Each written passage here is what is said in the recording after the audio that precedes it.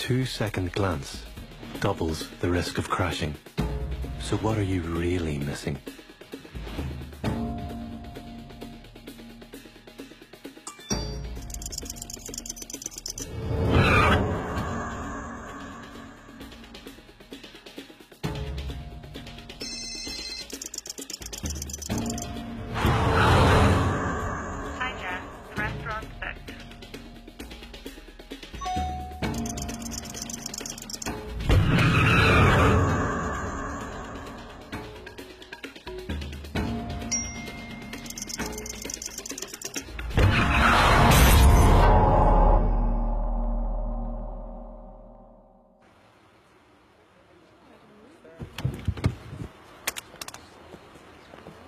A two-second glance means you miss what really matters.